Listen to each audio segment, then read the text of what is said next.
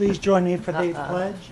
I pledge allegiance to the flag of the United States of America and to the republic for which it stands, one nation, under God, indivisible, with liberty and justice for all.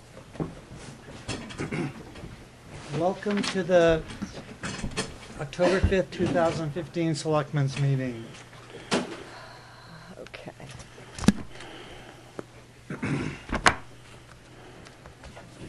First, we have public comment.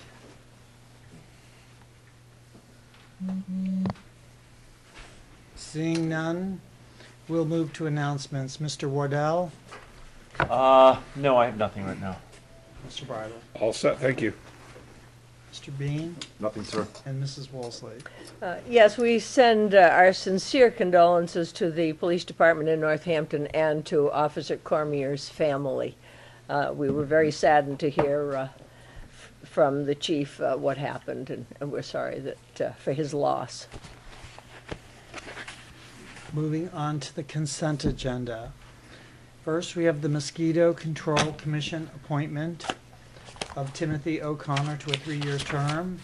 Two is SAU number 21, request to release impact fees, $47,384.70. Three is an acceptance of a warranty deed at Harris and Fellow Ave from Hampton River Marina. Four is cemetery deeds for two people. Mis- Is there a motion? Mr. Chairman, um, could we add Mr. Diener's request f- to uh, ask for a grant for part-time help? May that be part of the consent agenda? I assume everybody got the You can, it is legally on the agenda, so it can be moved anywhere. Okay, we'll move that into the consent agenda.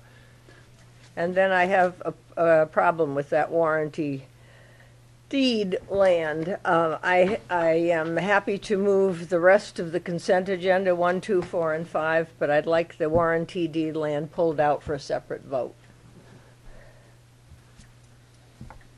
I, I'm just plain not gonna vote for it. So, Okay, but, but I don't want to penalize the other. so did you want to make a, a- a motion? Yes, to accept on the consent agenda, one, two, four, and five. Uh, That means uh, number five being Mr. Diener's request for the grant application. Is there a second? I'll second it. All those in favor? Unanimous. Then we have acceptance of warranty deed at Harris and Fellow Avenues from Hampton River Marina LLC. Is there a motion? I'll make a motion, we accept the warrant, uh, I'll second it. All those in favor? I'm opposed. Four and one opposed. Thank you. Moving on to appointments, we have Jane Cypher, Town Clerk, 2016 Budget Review. Good evening, Jane. Good evening. Page three.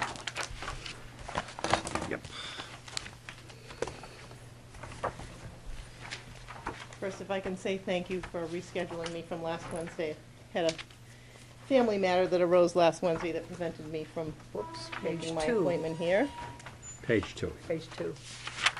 Okay. That- Yep. Um, rather than go through my budget line by line, I thought it would be more effective to highlight just the changes um, from 2015 to 2016. The town clerk's office budget is divided into three sections, town clerk, voter registration, and election administration.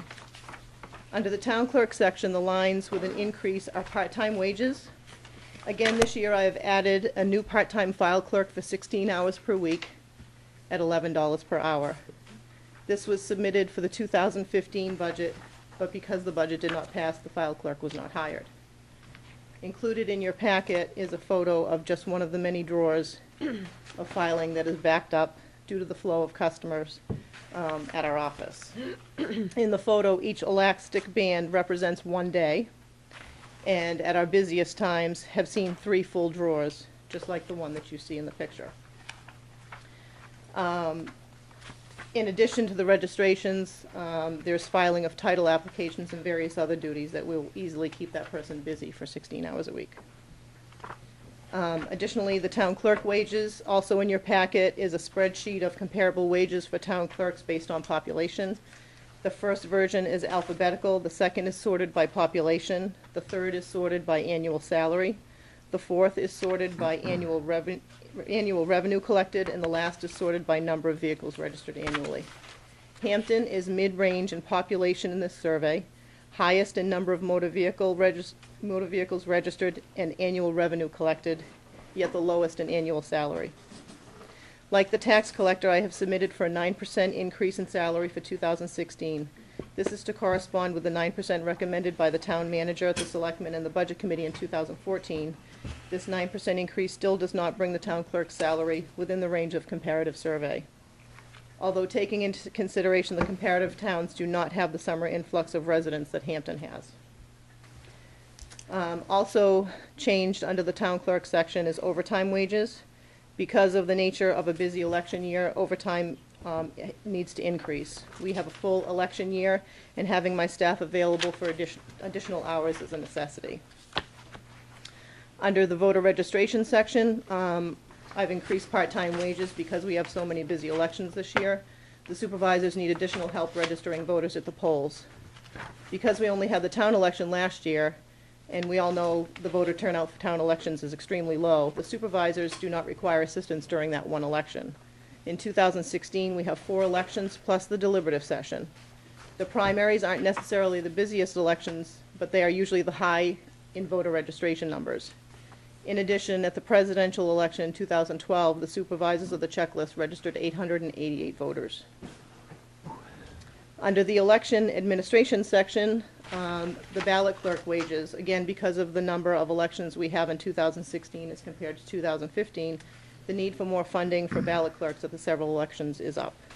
No, not only is the need there for the number of elections, but also for the type of elections. The presidential election is historically the busiest of all elections. We increase the number of ballot clerks for each shift of the election due to higher volume of voter turnout. Um, town meeting expense. The food service for four sessions was increased from, to four from one at six hundred dollars each, which increased the line item by eighteen hundred dollars. Um, additionally, I just realized today while I was reviewing everything that the, um, printing of, and folding of warrants was removed from my budget last year, but I had forgotten to take it out when I did the, uh, presentation for this year. So you can reduce that line item by five hundred dollars, bringing it to thirty-three hundred dollars, and that's under town meeting expense.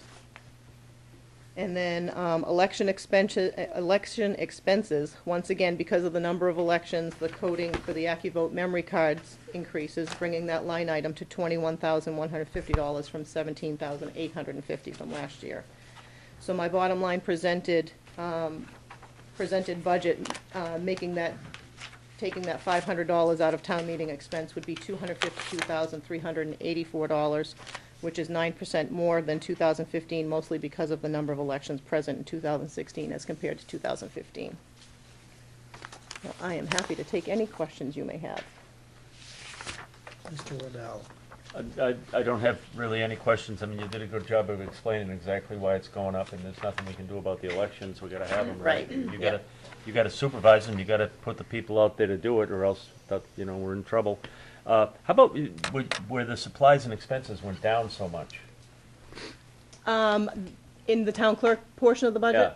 Um, we had, I think, eight thousand dollars in there for, um, bookbinding, and we've been able to catch up on that, so I reduced that significantly because it's not, not needed at this point. Okay, good. We had a lot of books that needed to be, uh, restored, um, when I first came on, and little by little, we've been able to, to get through all of those, so pretty much the vault is, is up to date. The only thing that I need to, um, to bind annually is like, all the vital records that happened in those years, and then the, um, and then the minutes from the deliberative session. Okay, super. I think you did a gr- great job, great budget presentation. Thank you. Mr. Bridle. Thank you for your uh, presentation, Jane. The only thing, uh, question that I've had in the past is from uh, people that come in Friday afternoons. Um, And I know that's all due to the budget and due to your man hours and stuff. Um, Has there ever been any thought to uh, increasing staff to cover that, or? Well, what, the, the way, the reason why it started, um, we started closing on Friday afternoons is back in two thousand nine, um, we started to see a lot of people um, inquiring about our hours not being early enough and late enough in the day. So our hours at that time were nine to four thirty, Monday through Friday. So nine was too late for people that needed to travel. They could get in at eight o'clock, but they couldn't get in at nine. And then four thirty obviously was, you know, too early in the afternoon for them to get there. Um, so I actually put, um, an article out into the paper giving an idea of what I was considering for changing the office hours to try and make it easier for people to get in. And I received nine responses, because I was looking for feedback. And I got nine responses, and eight out of the nine were positive. Um, And in trying to keep that, the, the hours um, pursuant to the contractual obligations, um, we had to take those hours from somewhere when we went eight to five.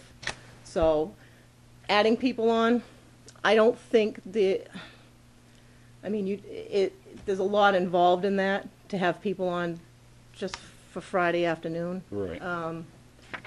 So, no, I haven't really considered that, to be perfectly honest with you. People now know that we're closed, most people know that we're closed on Friday afternoons. Um, And there are a lot of town offices that are closed completely on Friday.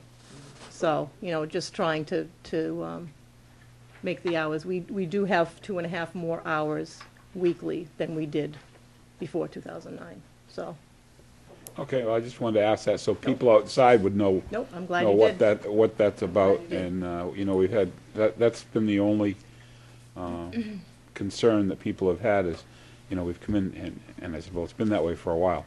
Right. And now you say it's two thousand and nine, it's Yeah. been that way, It so, was six, it was six years in April. so, um, hopefully people are gonna get used to that system, but mm-hmm. you do an excellent job, thank you. Thank you. Mrs. Woolsey. Yes, Jane, if someone proposed a warrant article to add a second polling place, just as a, an if, mm-hmm. what would that do to you and your staff? To my staff in my office, mm, Well, yeah, for the, wouldn't for the really- election, it wouldn't do anything for my staff in my office. Well, I but know As, that. as far as the election itself, yeah, it would almost double the staff. I wouldn't say it would double it. right, It, where, Bob and I have actually talked about it. yeah, We're figuring, you know, it would be maybe instead of eight people on the line, Mm-hmm. um, checking in voters, it would be six at two locations, you know, Yeah. six each. Yeah. So, um, you know, it, it would it definitely increase, there's no Yeah. doubt about that. Yeah. But, um, it's, it would, certainly wouldn't double. okay. And uh, a very nice budget. I just uh, want to point out, from my perspective, that I think we have no authority over your salary because you are an elected official. So I'm happy to let that go through to the budget committee, and they're the ones who can do what they do. But uh, very nice job. Thank you. Thank you. Mr. Bean. I have no questions, young lady. Fabulous job, and you run a great department. Thank you. Thank you, Mr. Chairman. Thank you very much for coming in tonight, and I hope Thanks. everything goes well at the Budget Committee. Thank you. Thank you. Moving on to Chief Ayotte, 2016 Budget Review, and Deputy Chief Kennedy. Page 25. Page 25.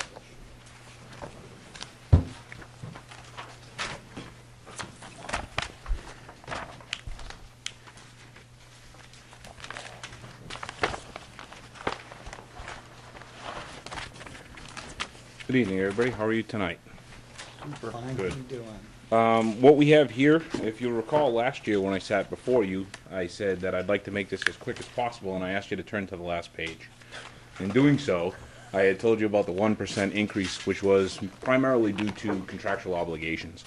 This year, we were um, working to keep a level-funded budget as best as possible, so I will describe in detail all of the changes. But if you could humor me for just a moment, and we turn to the last page of my budget, um, we see that after town managers assisted us, we're looking for a three point uh, four million dollar budget, three million four hundred forty thousand three hundred ninety-five dollars.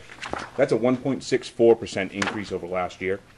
The reason for that, uh, we'll go through it as we talk about it, but primarily, this is uh, as a result of known changes due to our heating, um, fuel, and electricity and water costs for our new buildings. That's where the, the big chunk of change comes for our changes right now. Um, in the beginning, we have very small minor changes to our uh, administration portion. There is an addition that you'll see with tuition reimbursement. That was a line item that was created and installed by the town manager and assistant town manager as a result of contractual obligations uh, to meet with the Hampton town policy, um, the personnel policy, so that we can assist with tuition reimbursement. There was no line item previously scheduled for that, and that's there so that we're able to meet that obligation. Uh, if we look to fire suppression, we have two line items that call for a three and a four percent change, and these are contractual obligations and step raises. They're all accounted for within that. Uh, let's see. The protective clothing, as you'll see, a thirty-three percent increase. That's at sixteen thousand dollars. Uh, as you all know, we have had a very changing year, and the addition of four new firefighters uh, within the last twelve months, or in in the um, next four months to conclude it, will cause a problem with the addition of gear because we need to hire them and, and purchase gear for them. Uh, that's what that line item is there to, to help us replace. Uh, we have a reduction as a result of changes that we made in the line items and how we're carrying, uh, where we put the, the differences in um, mechanisms for valve replacement and, and uh, assistance with that. Um, we have a 29% reduction that you'll see next week is due to the re- uh, liquidation of a PO that we had held encumbered for some time now. Um, when we look at fire prevention, we have a 19% increase in gasoline. We hope to, and it's part of the warrant items, to see a fire inspector, as we've seen before. I put in this budget the gasoline for the automobile that they would be driving, just so that we would have that as a means so that they wouldn't be walking and coming a ride. Um, the new equipment, you'll see that we have in there costs associated with a Canon copier that we had purchased. It's a color laser printer, actually, not a copier, a printer, um, along with the additional items for our permits of assembly, specialized paper, so that there's uh, no means to copy that or to change it and forge it. Um, when it comes to training, we see a 22% increase there. The reason for that is because we have known costs, and we also have an increase in staff that are going to require that. As we hire new firefighters, they're coming in and they need to have medical background checks, um, background checks as far as uh, police histories and things like that. We've known now that the costs have been increasing in medical health care for quite some time. For us to perform uh, health care screening prior to um, employment, we're seeing now it's about it's between fifteen hundred and sixteen hundred dollars for one candidate. Um, the end, the large jump, comes in the fire stations and buildings. This is the forty-one hundred for ten items. So we have an electric change of eighty-nine percent. We have a heating fuel change of twenty-seven percent. Water, six hundred percent. Uh, where does that come from? It's very simple to understand that we've been in the buildings for a year now. We've had experience with the bills that they're sending to us, and so therefore I've adjusted the budget to accommodate them. Up until now, we've been taking it from other places, and that's been very difficult to do. So this is actual costs, so we pass that on now so that you're able to see what it is costing us. Building maintenance, um, floor maintenance, and all other items with it, there's been an increase in charges because we have more building. Um, we just uh, executed a PO for washing and waxing the floors. They had never been done. So the stations look tremendous right now, but that was encumbered money. Moving forward, we have to stay on that with a preventative maintenance schedule. Um, I do believe that that sums up all of our budget to show the increases, and the reasons why are as I outlined. Do you have any questions? Mr. Bridle. Your, your fire gear Yes, sir. has to be replaced, what, every 10 years now? That's correct. Um, according to the, uh, was it NFPA standards? Yep. So, uh, that's one of the reasons why, again, this budget is, Actually, the I have a I have a warrant article also that requests six sets of fire gear as a as a um, as a program replacement, part of the program replacement. As we had talked about last year, I'm hoping to do a program replacement for gear that's um, older right now, so that we can get on a program of replacing four sets every year, and that way there in 2019 when it comes to pass, which is coming quickly, as you all know, we'll have to buy 33 sets of gear. I'm trying to stem that off and defray the costs over the course of the next four years. However, this year we find ourselves having to purchase four additional sets of gear for new firefighters. So as they come through the door, this is fit gear. They're measured out. You know, we we certainly can't wear the same size, and you and I can't wear the same size gear. So this is fit to the firefighter. It's uh, tailor made and it's expensive, but it prevents burns and it provides safety for them. So we have to do that. Uh, looking forward, we're going to be replacing four sets with this particular budget, but I'm taking it from this year to buy the new. And, thank you. Yes, And sir. part of your increase in your, your water budget is, I know previously, w- when the stations were built, they did not have sprinkler systems. No, sir, in they them. did not. And so now with, with the installation of uh, dedicated lines to those buildings, there's an additional cost to that, correct? Two six-inch lines that are coming in, yeah, the- this is real numbers. So, uh, previously it was domestic water only, and now it's domestic water plus the sprinkler lines. And so with that comes the increase in charge. Um, all of our buildings now are code compliant, and I'm very pleased to report that. So, that's, uh, that's certainly a step in the right direction. Well, I think, uh, I think the fire department's been do- is in good hands right now. I think that, that things are going well. We've had a lot of, uh, good, com- good comments on fire prevention and, and how things are going through the people in the town, and, uh, I think the people really appreciate it, so, thank you. Thank you, sir. Mrs. Woolsey. That's a pretty compact way to introduce a budget. Thank you, ma'am. Uh, Very, very concise. I do have a few questions. How many firefighters are still out on disability or whatever? How many? We had a new one go out this week, um, Oh, great. personal injury, and he's going to be out for the next three months. Wonderful. fingers in hand. Oh, God. Um, we have uh, two that remain out as a long-term disability. So that uh, total of three right now. Uh, four. I'm sorry. There's four. I have had uh, news that one has put in looking for a means to medically retire from the department, but Okay. that's that's out of our department right now. That's at the state level. Right. So So, with a complement of 28 that's where it's firefighters, supposed to be. Correct. you're down to 24. Correct. Okay. Uh, one is Um, one just so that we're clear, and, and I'm not misstating myself. One is a fire alarm operator, right? Uh, three are firefighters. Oh, okay. So I you- also have two open positions right now Yeah, that we're I- working hard I to know fill. you do. So Okay. um, Deputy Kennedy has already had the oral boards, and on Tuesday next week we're Right. doing the physical skills. So we're looking to fill those positions. I, I hate trying to run this department on 20, 25, whatever firefighters. That's scary. They're working hard and they're doing a great job. I know, I know. We need more. Um, on, let's see, page 26, you've got the gasoline. Um, Chris, gas prices, it, now, it doesn't say diesel there. So I'm assuming it's regular gas? You're talking page think 16, ma'am. I don't see the same page- page number you do. Are you looking under Page fire prevention? 26, the top of the page. Says the chief and deputy, this part of it. gasoline.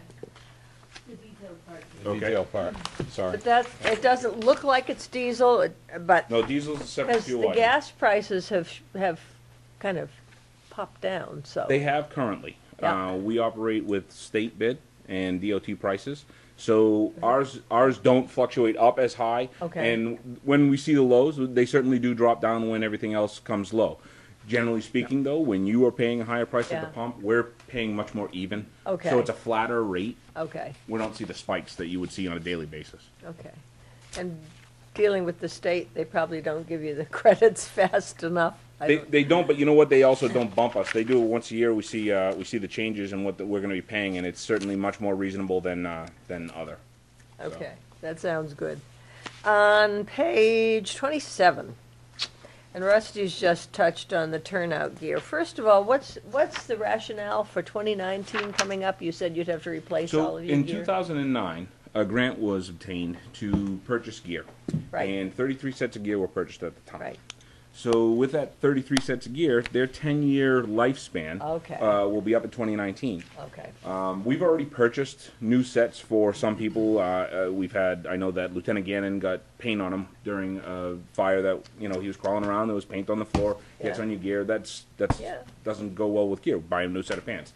Uh, somebody else's jacket is torn, we get it repaired, and then it's torn again, you have to get a new jacket. so wear and tear, It is absolutely wear and tear. And um, as we have seen, we are hiring new firefighters. Yes. Um, when I got hired here first in 2012, we hired three firefighters, and only one saw a new set of gear. Kyle Averill, who, if you've met him, He's very tall, and wasn't going to fit in anything we had. So he got new gear. The other two guys that were hired, Kyle Jamison and Seth Butler, they got hand-me-downs? That's right. They they certainly got hand me downs. Uh, we've been working to get them their new gear, but generally speaking, the 33 sets are coming to turn in 2019. Okay. Has the new washing facilities in the new stations now helped you on the Oh, turnout tremendously. gear? Absolutely. Uh, you know, there's a new report out last week discussing carcinogens in firefighters' gear, Mm-hmm. primarily in the hoods. So, you know, you wear your hood, you put your hood up, you go in the fire, you come out, and it stays around your neck. Um, we have the ability to put it into an extractor, and Right. then we have the dryers, which help us Yep. tremendously. So, yeah, for the safety of the of the personnel.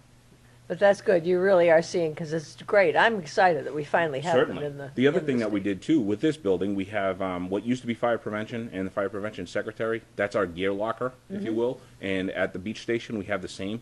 Uh, no UV light. We lost a couple of lieutenants' jackets and I think a captain's jacket to UV light because it was just exposed all day while they weren't there. Oh. It was you you remember, sir, where they were kept. They were out by the engine.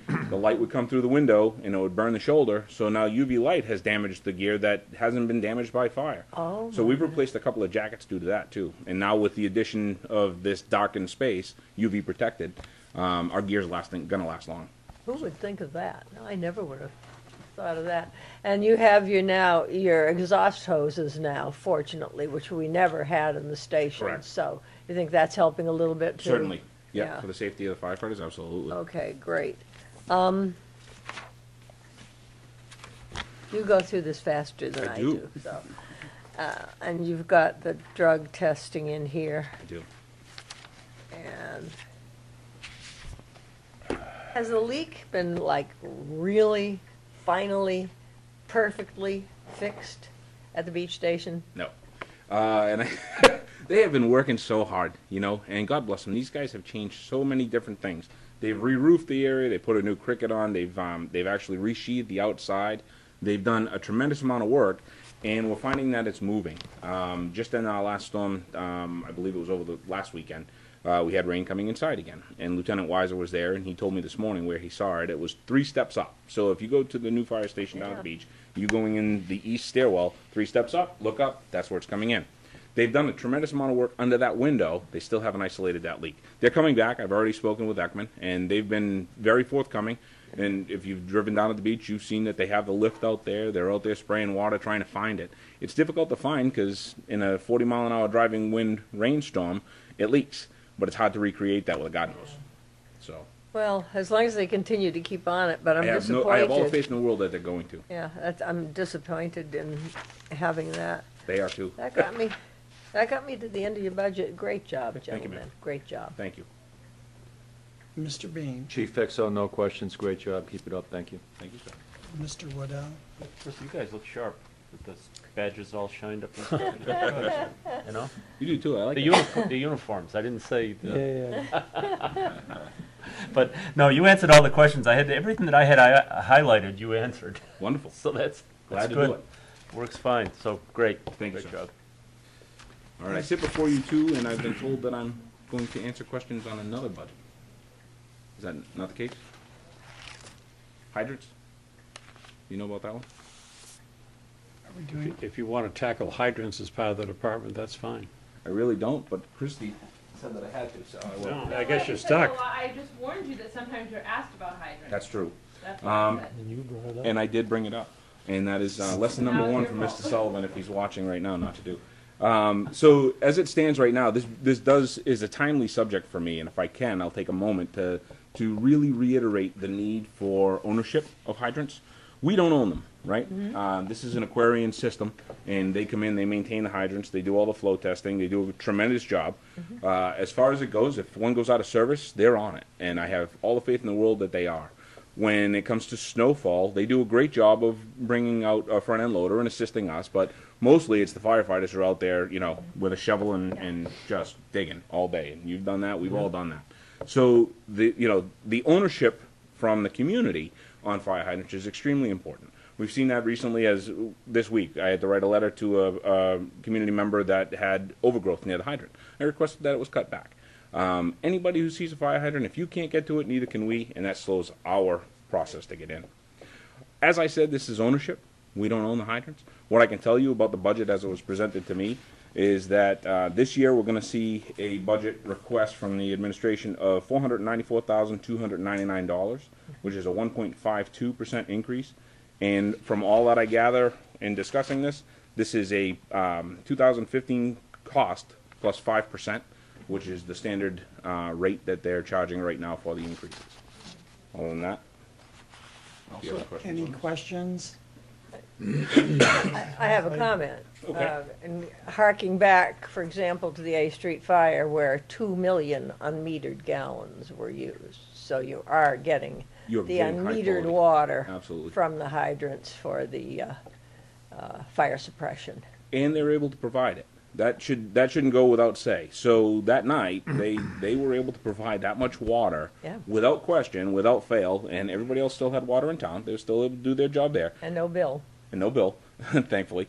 Uh, but when you see that much water, there are many many communities that could not compete with that, and they did a tremendous job for sure. And one of the factors in your ISO rating is the availability of the water. I think that's forty percent on your ISO rating.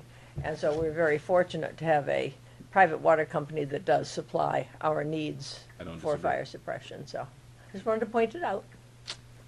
Mr. Bean? No, sir. You know, and Mrs. Woolsey brought up a good point when she said uh, that she would never have thought about the UV light affecting your equipment. And that's why we have full faith in our department heads. Thank you very much. Thank you, thank you all. Have a great night. He's trying to tell you not to stand under No, I'm UV trying to light. tell other, I'm trying to tell the people here at the board why we don't want to interfere Right. in the department heads. Because they know more than we do. He do. knows how to uh, zip through a budget. God love him. And Chief Sawyer and Deputy Chief Hobbs. Good evening. Good evening. Ho, ho, ho. Fourteen, Page. Uh, page 14. Thank you. there you go.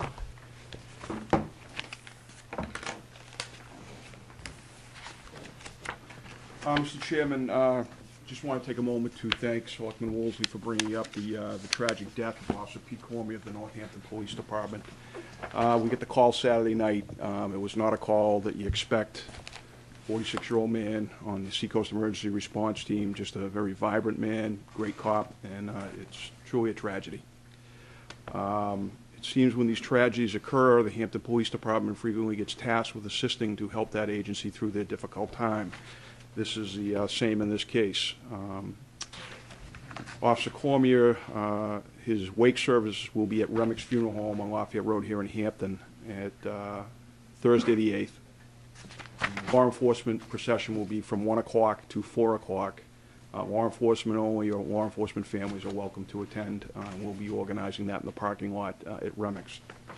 Uh, The public viewing will be at uh, 6 o'clock to 8 o'clock, uh, and all are encouraged to attend, even if you didn't know uh, Peter, if you support your local law enforcement, just showing uh, up to, you know, show the family that it mattered uh, would be appreciated. We plan on departing Remick on Friday, the 9th. Uh, We're going to be leaving at 11 o'clock, and we'll be heading for St. Mary's Cemetery at Dover Point for a graveside service. I do not have the details yet on which direction we'll be going. We do have a meeting tomorrow uh, with the Chief of North Hampton State Police and the other assisting agencies uh, to finalize those details. As soon as I know what those details are going to be, I'll certainly notify the board and try to make that public information so people can make alternate travel plans uh, if we're going to impact the traffic flow on a Friday or Thursday. Uh, I do expect a heavy attendance on Thursday and Friday, so if you, you can avoid Route 1 during those timeframes, it might be advisable.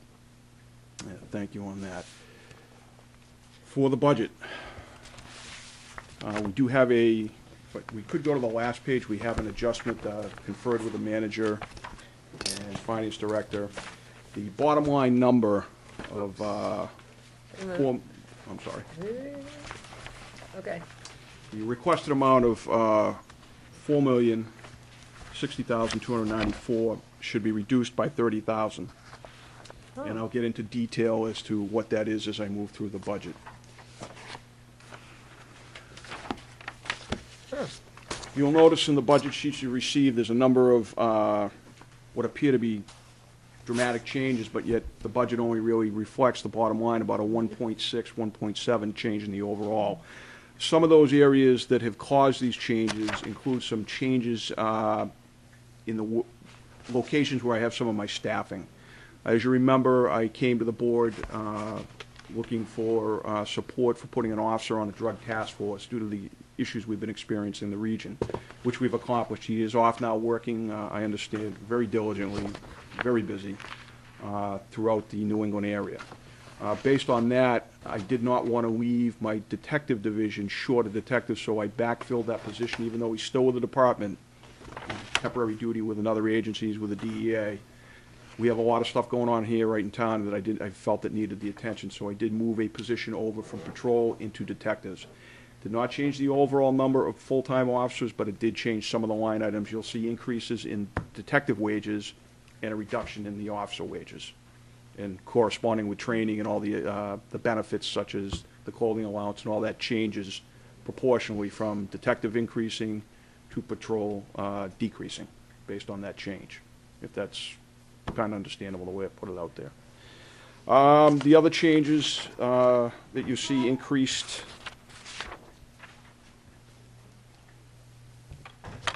again, was the uh, radio maintenance, was that issue, was the thirty thousand dollars. Uh, There was an item in there uh, that we had put in to improve on our interior sur- uh, surveillance system.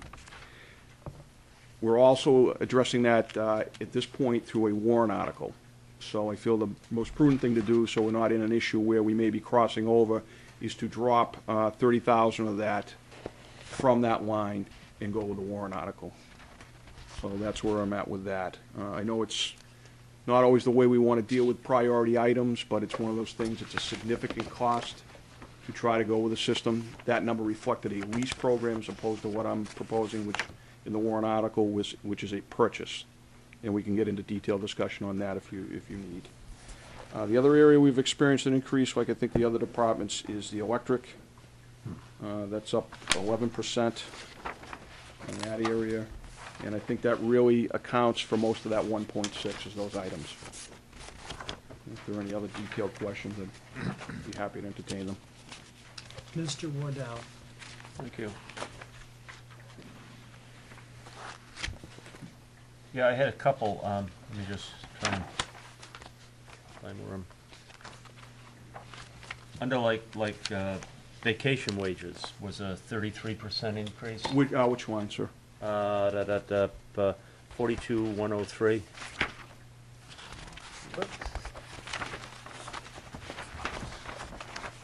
Vacation wages, okay, Uh, okay. eighteen,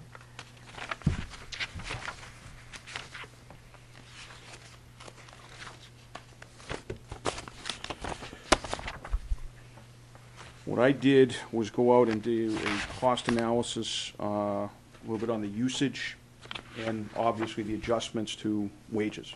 The wages usually don't go down, they go up. Uh, And that's, I believe, a reflection of that, Okay, and the use rates.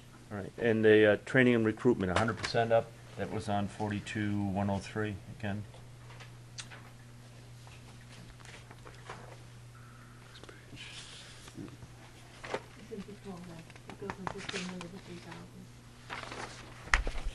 That is a result of, as you remember, we went to um, a warrant article last year to do that second class. Okay? So those costs for that group of officers uh, that graduated the 100 uh, 269th Part-Time Academy are totally borne from that warrant article, including recruitment costs. My plan for next year is, we are currently, as we speak, doing interviews all this week for next year's class. Most of the training they'll receive and issues associated with will go into next year. I also plan on running a second class. Um, As you know, the police academy has canceled the summer class, they're not gonna run that again. Um, But we have a fall class, so what we're gonna attempt to do is do some recruiting in the spring, testing, and get them ready for that fall class, which will be born in that budget. So we're gonna be doing a double class, but it spans over, uh, two years. That's the problem with, uh, we don't have a fiscal budget, we, we're on a calendar budget, and most of the stuff that the state does kind of goes fiscally, mm-hmm.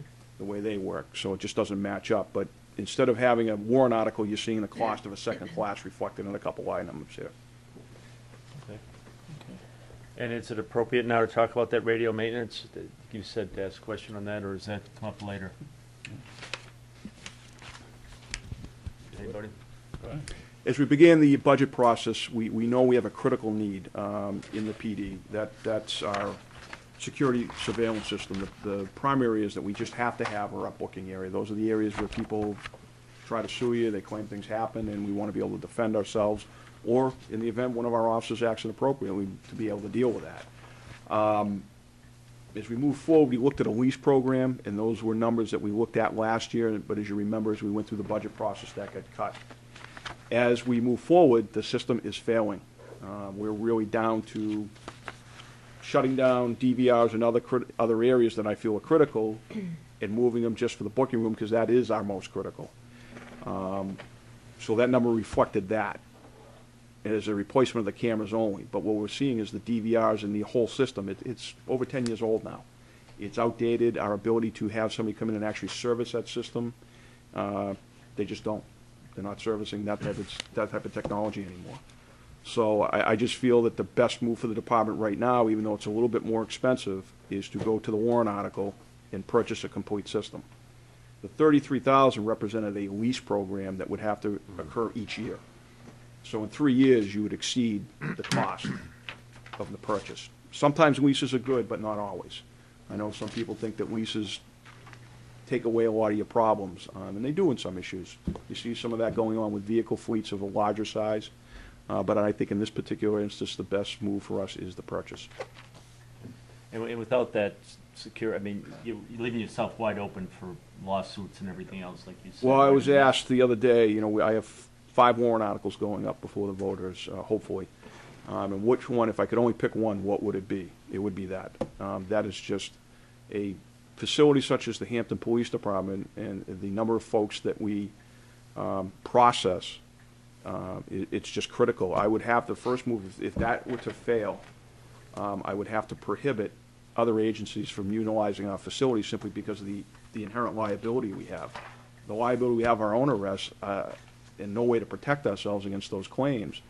I'd have to restrict the facility to strictly Hampton PD, and that's difficult because we work with a lot of other agencies. Um, and we, we count on them and they count on us, uh, but I would have to restrict that, and I, I don't want to get to that point, so, um, that warrant article, um, is critical.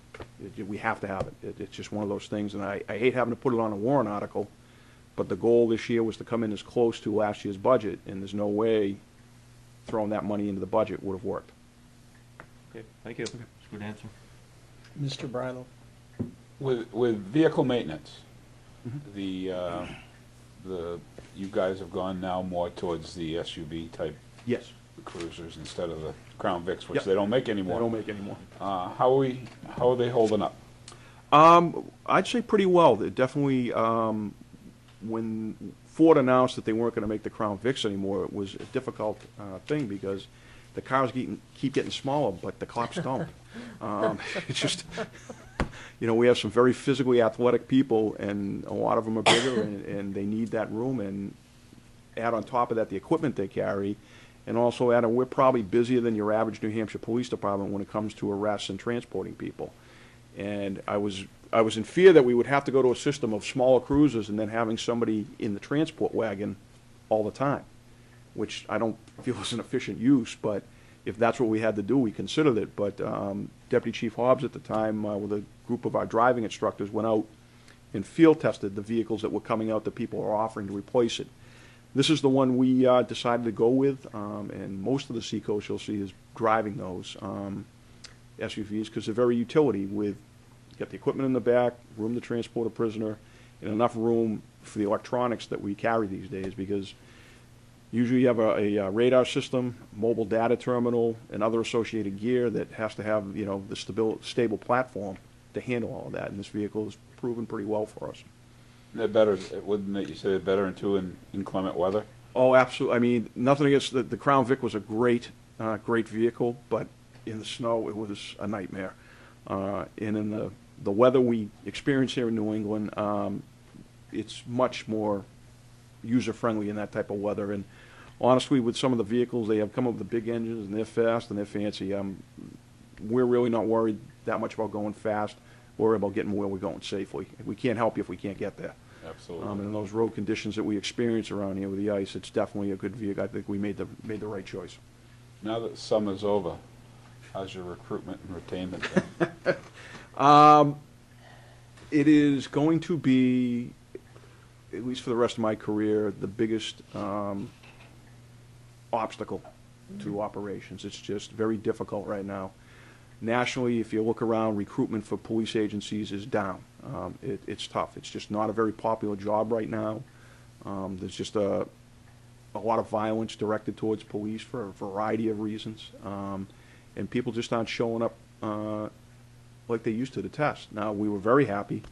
We conducted our test on Saturday, and we actually have 27 interviews this week. That's up uh, a little bit from the last couple of years, which is, my target goal is 15 officers either through one academy or two next year to get that number going, because as we speak today, we have 35 part-time officers on our roster. Now, that also includes seven new officers that came on uh, from the summer academy that we didn't intend to use, but we brought them on as traffic control officers this summer, as we were so short-handed to work on the HBAC program and also uh, on the Seafood Fest and all these other associated events we run that require a lot of officers for traffic control. So at the end of August, when they uh, graduated, we put together a quick uh, training course. Uh, Tom Goditis in the training corps really did a great job. They gave them some of the training they would have gotten next year, particularly in the area of traffic control, so we could utilize those officers. But that said, uh, I'm expecting uh, the attrition rate that we experience usually. We're going to lose a few of the new people to departments. We lost two right after the Fourth of July, two other departments. Uh, I've also, we've done some informal polling of some of the veteran officers, um, and there's a number of them are getting older, and it's getting more difficult for them to make the commitment. That I anticipate we're going to lose a number of them this year too. So um, I'm looking at before we hire any new people, that that current roster could be down in the area of 25 if we don't backfill with some new people. So we're really pushing hard to uh, do some recruitment. We had a couple of officers up at one of the local college CJ programs for a job fair. Uh, was it uh, St. Anselm's we went up to? Merrimack College. Merrimack College, I'm sorry. Went down to Merrimack College and we, they gave us a room just for us and sent two officers down. We have a little uh, recruitment video and just explaining how it works. And uh, just, you know, we're, we're trying. It's just, it's one of these times. I talked to the colonel from the state police. I talked to other agencies. North Hampton PD, they were running a, uh, a a, uh, PT test on Sunday. We're all in the same boat. It's just tough. And when people are offering full-time jobs, we're looking for part-time. It's a little bit of a harder sell. Uh, we're still getting good people, um, but it's just a little bit harder. And Manchester and Nashua keep stealing them from us, so I don't know what we can do about that, but, uh, I wish there was an answer, but it is, we're just gonna keep plugging away. Well, it's something you're gonna have, to- as you said, you're probably gonna struggle with the whole, your whole career. I would anticipate that. I don't see, it- I don't see a change in that, uh, situation for at least the next four or five years. Thank you. Mrs. Woolsey. Good evening, gentlemen. Good evening. Um, the SUVs, I love them. And the manager was kind enough to allow me to be transported in one last year during one of those awful storms. Mm-hmm. But it was a great opportunity to see how it worked. And I was really impressed. I'm excited about those. Well, I think one of the things, uh, you know, Chief Sullivan at the time, um, big believer in getting buy-in from the, from the troops.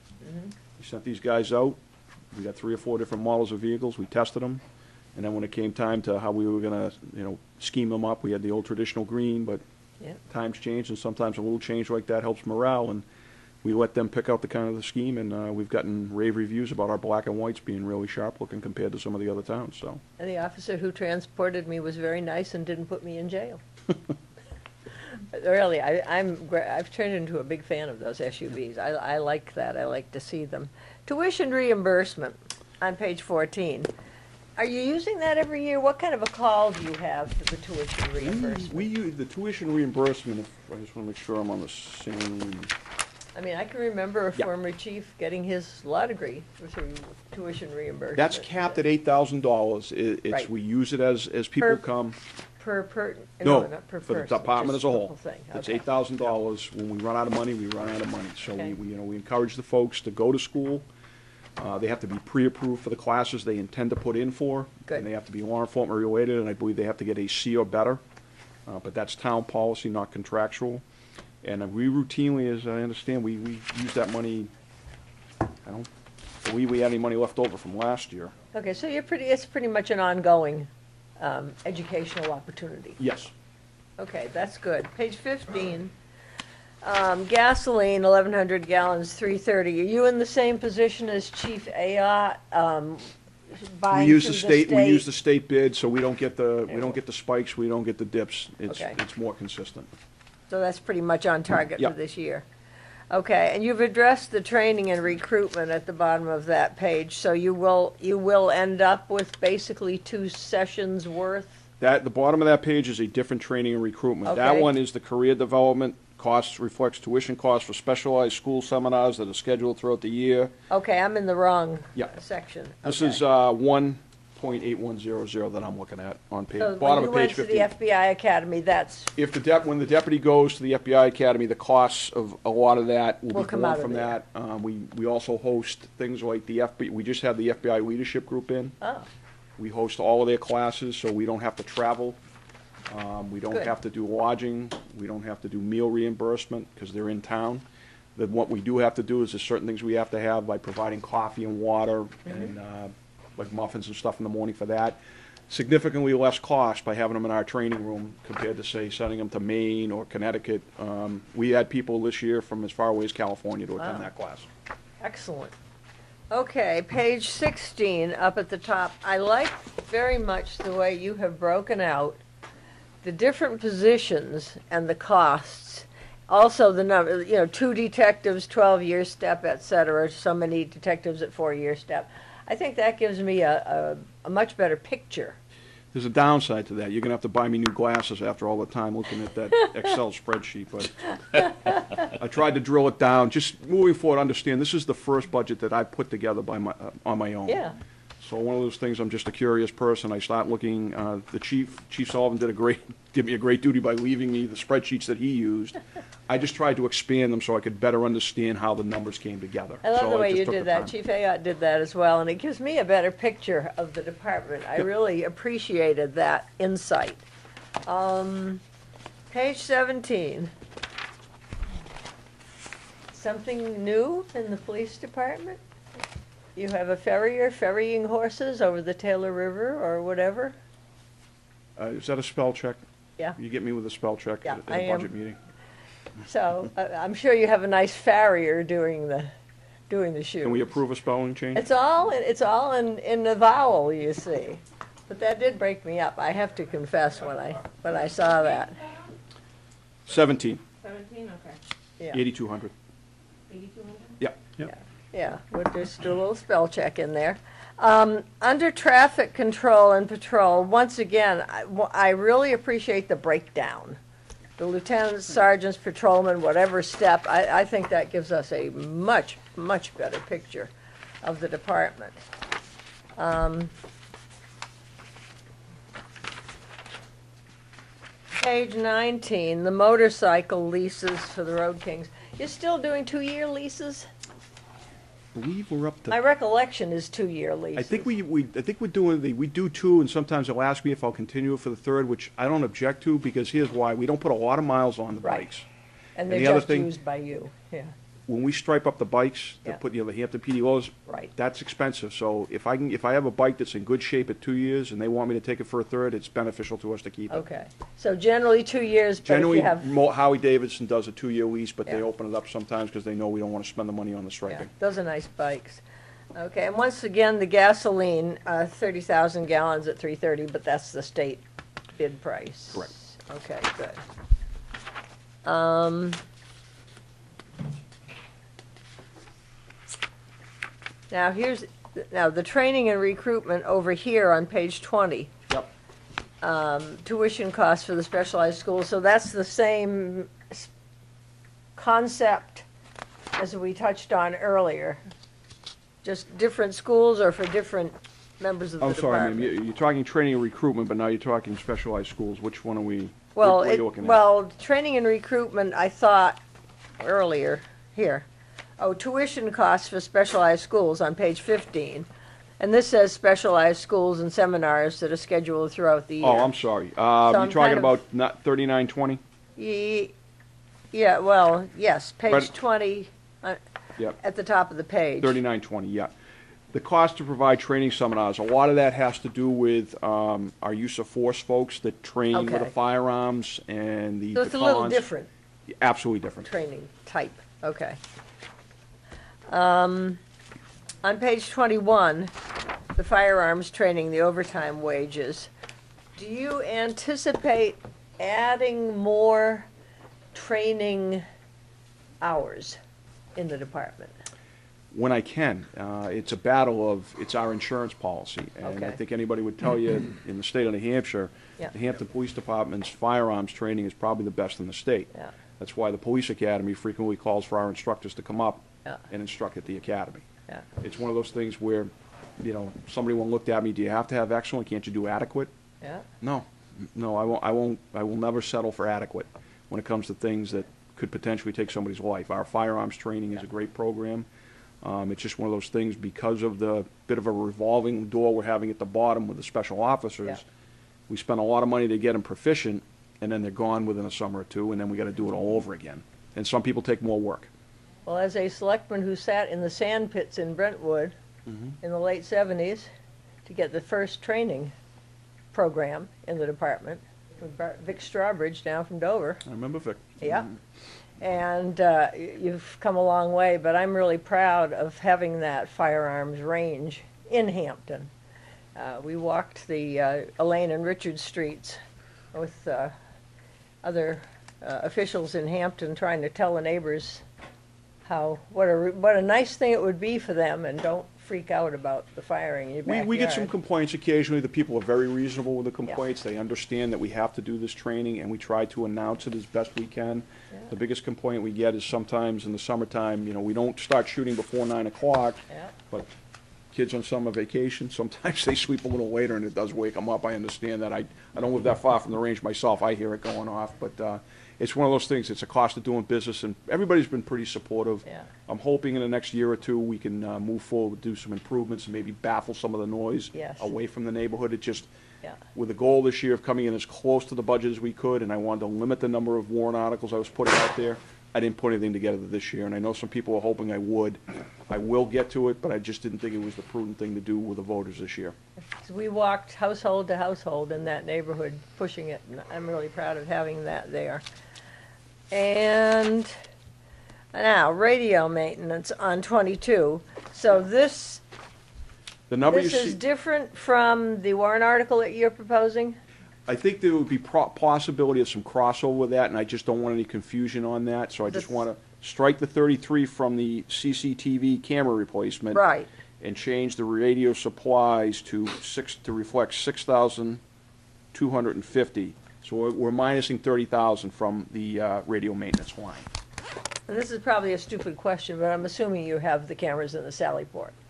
We have them, it's not so much having the cameras, it's what's being recorded and what's not. What's failing is the recording system, the digital video recorders. Oh. They're ten years old, and it's technology that's, it's like anything with a, co- you buy a computer and three years later, it's obsolete. It's designed obsolescence, we call it. Because to me, um, that's kind of a critical area. It is for a you to- huge area. The booking, the booking room, the Sally Port as you come in. Yep. And it's just, I, I can't emphasize enough, we have to get that warrant article passed. It- Yes. It's the most critical one we have. Okay. And I, s- I- I really am, I didn't go through it as fast as you did, but I just got a little bit more, page 23 at the top. And then, now you are confirming here that you're gonna have a double class of special recruits in 2016. And, the- yep, and the way that's gonna work is, right now, we are in our testing process. Mm-hmm. That process gets us all the way up to December. They won't start the special academy up in Concord, because we no longer host it in Hampton. They had to cut that because of the state budget Remember you issues. said that, yeah. They'll be going up to Concord in probably February, late January or February to start that class. They'll come back out to us, train, train with us, and be ready to go for the summer of 16. What I also plan to do is run another testing process sometime in March to get ready for the Fall Academy, which is the end of September, October. So that's what that additional cost you're seeing of a double class. Good. We probably won't see those folks until seventeen, but it's just one of those things, because of the way we're budgeted compared to the way they operate. Mm-hmm. We split the operating costs of putting people on usually between two budgets, just the way it happens. You gentlemen have done a beautiful job, and Deputy Hobbs is gonna smile before he leaves here tonight. I know he is. No, I told him he's not allowed to smile at these things. We're very serious. Mr. Bean? Great job, gentlemen, appreciate it very much. I have no questions. Thank you very much. We appreciate it. Would you like to do, uh, the animal control budget first? Yes. Or what we like to call the, the Pete repeat budget? That's good. Uh, just a, a note on that, I don't know if you folks heard, um, Pete is out convalescing from some injuries. Oh, Uh, he took a little fall down the stairs at home, uh, so he got dinged up pretty good, so. nobody bit him. He didn't- No, no, I mean, uh, uh, we don't worry about Pete getting bit, we worry about what's gonna happen to the dog that bites him, so. um, It wasn't a work-related thing, he was at home. That was bad. But just, uh, best wishes to him and a quick recovery. He does, uh, a great job with us and He's a sweetheart. takes a lot of problems off, off of people's hands that they don't wanna deal with. Page forty-seven. Um, the only thing I think you're really gonna see of, of a huge change, I think we see the supplies and expenses. I think most of that has a lot to do with, um, with a new vehicle and dealing with that and Yes. getting equipment up to date. We're trying to get him set up so he has the proper equipment. He was in that beat-up old truck, and some of the stuff he had was kind of nasty, and we just felt it was time to start upgrading the equipment, so that's really what that reflects.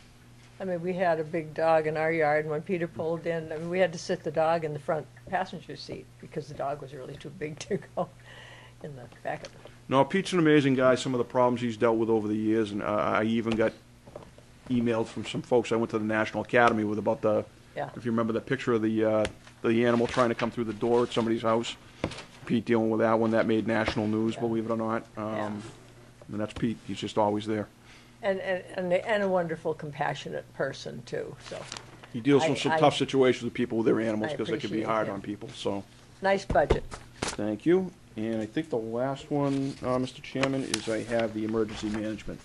So how much on it? It's a thousand dollars. Um, we Yes. absorb a lot of the stuff we do either through state funding, uh, that I'm really getting as emergency management, really getting in tune with. I think I probably spend more time on with my, uh, emergency management rep than I do anybody else during the week. Um, But they're great. They're, they're getting me up to speed on things. I, I believe, um, I'll be coming to you probably within the next couple of weeks to ask for the appointment of Chief Aod as my deputy.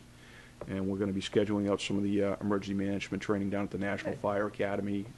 Uh, and some of the other stuff that we do regionally. I think it's important for us where we experience so much with the crowds we deal with, but our, our environment that we deal with, the climate, uh, we're constantly be, uh, dealing with problems. As you saw, we had the, some pretty high tides over the last, uh, over the weekend, and we had some events going on, and people were really, really worried about how we were gonna handle those, but we were prepared, so.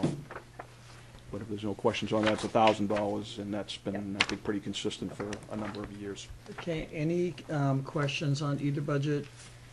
Mr. Bridle? Mr. Bean? Negative, sir. Thank you very much. We appreciate it, and everything seems to be going great. It does, and I do have my um, quarterly report I was scheduled for, if you have time. Perfect. Okay, and I'll just read And this you're to you. thanking your lucky stars you don't live in South Carolina. Oh, with something like that, yeah. We've had our battles with the weather too, so they don't get the snow, so uh, I don't hear anybody from Carolina calling and worrying about me in the snow, so. Um, Full-time staffing, we remain at thirty-four. Uh, Officer Tim Hamlin and Officer Sorokins uh, served as our corporals over the, uh, the last quarter. They did a great job leading our part-time officers, and it's getting more and more difficult because many of the faces are new every year, probationary, and it's tough to get them up to speed in such an operation as we have. Uh, we do have one officer currently out of service due to a duty-related injury. Um, and the prognosis on that one is a little dubious. We're still waiting to hear, but he, he has some significant injuries, a little more serious than we had first heard. It was the officer that got dragged by the car during an arrest. Ouch. Um, So we're hopeful that he can come back, but uh, right now, the medical reports are are a little up in the air, so hopefully we can get him back. Uh, Part-time staffing, 34, 35 sworn. Uh, We began the season with 31 working part-time officers. Uh, Shortly after the holiday, we received the reg- resignation from two officers, bringing our number to working officers to 29. Summer part-time academy was also being conducted uh, regionally through video conferencing, with Hampton PD being the seacoast host. We had seven officers graduate from the 269th New Hampshire Part-Time Academy. This class was not scheduled to come to work for the department until 2016, but due to the uh, issues I mentioned to you, uh, we brought them on at the end of the summer to help us with the traffic control issues that we were experiencing.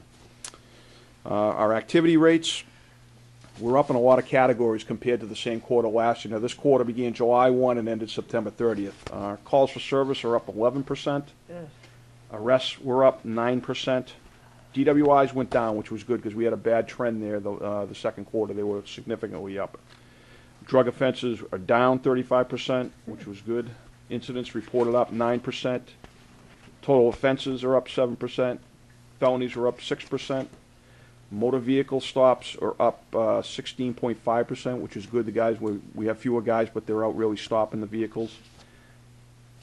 Parking tickets down, I should reflect, I said down, it's, uh, you're gonna like this number, it's up 45%. Um, Accidents up 11%. Uh, The parking tickets were directly a result of our parking enforcement efforts through the, the officers, but also we were only able to bring the supervisor on, but he's a very diligent, hardworking man. Um, and he was out there every day, um, really hitting it. I can only imagine what we'll be able to do when we hire two or three more next year. That is the game plan, to bring on, uh, two or three more folks, uh, doing the parking enforcement on those peak periods. Operationally, uh, obviously a very busy summer with everything we had going on. Uh, A lot of challenges, staffing levels, ongoing overdose crisis, the level of contacts the department was experiencing of intoxicated individuals. That's still one of the big problems we have is the overserving in our, in our establishments. Uh, We're trying to work with them. Uh, We brought in a uh, member from the New Hampshire Liquor Enforcement Bureau. We gave him a- a desk and an office in the building, so he would work directly. I happened to walk in the other day, and there he was doing his reports from other communities sitting in Hampton. So it's good to have them there, to, to, to get people to understand it's not just us out there arresting people, but it's the administrative function that these folks uh, support us with is critical to, to keep things to a, a reasonable level here in Hampton. Um, Fourth of July, we were very prepared for the busy weekend. Overall activity was up sig- significantly. We doubled the arrests being made compared to 2014. Majority of the arrests made on the Fourth of July were alcohol-related. Uh, Prediction of good weather for the holiday, great emphasis was placed on traffic control. Uh, This paid great dividends as we were able to keep the traffic exiting the beach area after the fireworks display moving and quickly uh, relieve the heavy traffic and put it back to its normal flow. Lieutenant Gidley, Lieutenant Gaditis, Corporal Hamlin, Corporal Sorokins are commended for the tireless efforts preparing and executing the department's operational plan for the holiday, which included the whole weekend. Also like to thank the New Hampshire State Police, Rockingham County Sheriff's Department, and the University of New Hampshire Police Department for their support during the holiday. Uh, As you remember, we entered into a mutual aid agreement with the University of New Hampshire. They come down during our busy periods in the summer, which is their quiet time, and we reciprocate. We had officers up at their homecoming. Uh, And it- it seems to be working well for us. Um, in July, we entered into a, a collaborative effort with the Hampton Beach Area Commission to find remedies for traffic congestion in the beach area during peak times of the week. And if I could, I'd just like to read you the letter I sent to the commission, uh, with our results or sense of, uh, how it, how it went. And this was addressed to John Nyhan, Chairman, Hampton Beach Area Commission. In July, the Hampton Police Department entered into a collaborative effort with the HBAC to find remedies traffic congestion in the beach area during peak times of the week. This effort was based upon the observations of public safety and the business community. During our discussions, we discovered differing views of a common problem. We were able to identify critical areas that address the varying concerns of those vested in improving, improving traffic flow along Ocean Boulevard. By agreement with the HBAC, the department agreed to provide officers at specific traffic posts during peak periods. We identified the traffic posts to be at four crosswalks on Ocean Boulevard from G Street to D Street. The peak periods were identified as being during the early evening hours of Wednesday, Friday, and Saturday.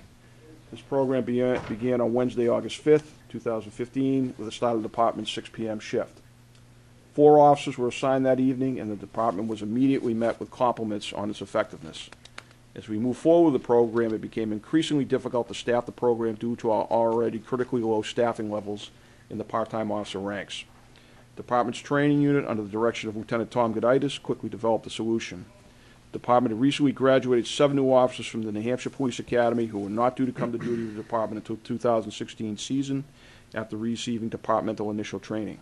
Training unit developed an accelerated training regiment that would prepare those new officers to work in traffic control capacity. This summer specifically, the traffic control, control uh, excuse me, traffic control program, we began with the HBAC. In addition to these officers to work in the traffic control capacity, the department was able to continue the program through the end of the 2015 summer season. The entire program was met with positive feedback from the community. And Based upon its success, is my intention, budget and staff permitting, to continue this program going into the 2016 summer season. In the near future, I will provide you with the HPD costs for participating in this program this summer.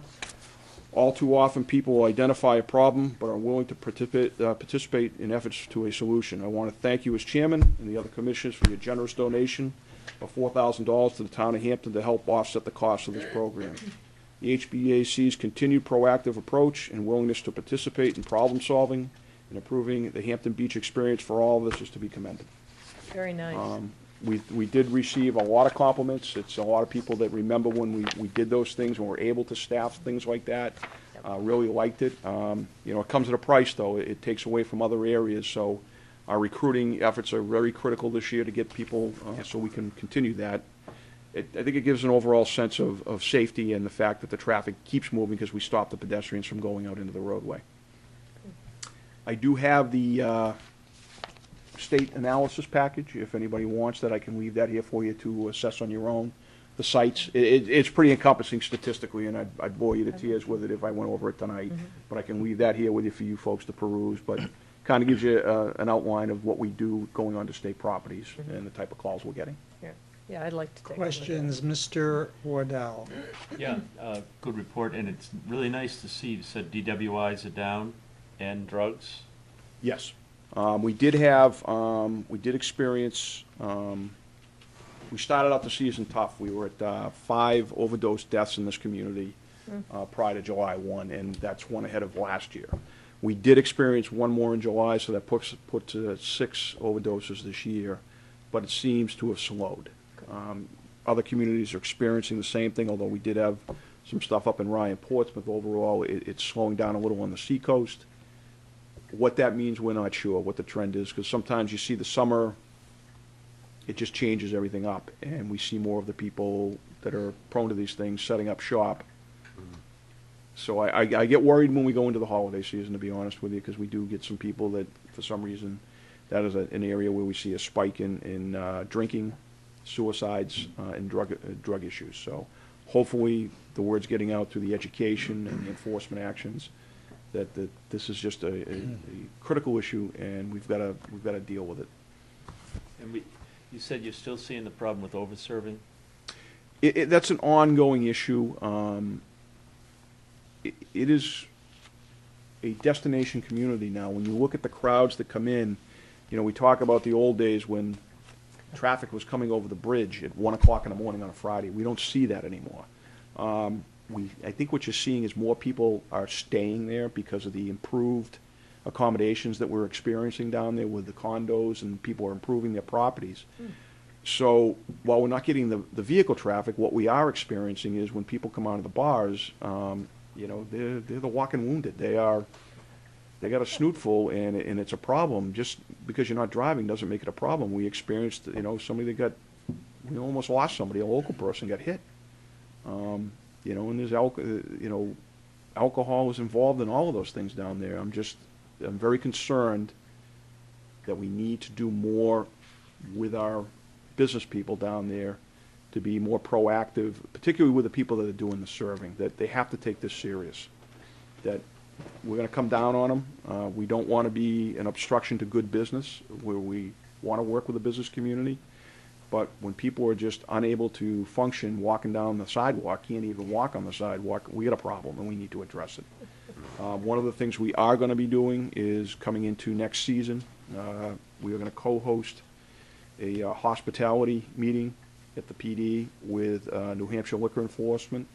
And with us, we can plan on continuing the program of having a liquor enforcement uh, officer agent assigned, working out of our PD with full access, and just continue that program, because I feel it's going to make a difference. If we come at them from, you know, the enforcement out there, arresting DWIs, dealing with people taking protective custody that are too drunk to walk down the street, and we, we refer all our reports to Liquor Enforcement Bureau for follow-up action. Um, and they're, they're very good to work with, and they go in and they start asking the hard questions. What training did you have? Why did this happen? We want to see a videotape, and most of the places have video now. And they, they have to provide it to us, so. And the, uh, the traffic, the, down the beach area, the control, a couple of times when I was down there during those times, boy, they, they really was doing a good job. Yeah, we're gonna try to expand That's that a little really a too. good job. Um, we used, a couple of years ago, we took the initiative and we started using the crowd control fence in certain key areas. My plan is to purchase more of that fence with either with surplus funds or wherever I can get people to get, you know, donate the money for it. It's really not that expensive. And use it to our best, uh, efforts because it relieves officers from having to do that function. Um, I had a recent visit, uh, to Nashville, Tennessee, a couple weeks ago, and uh, their main drag down there is just, I, I called it Hampton Beach on steroids, because they're not just one side of bars, it was on both sides. They have 174 bars in a four-block area. Um, but they have very few pedestrian problems.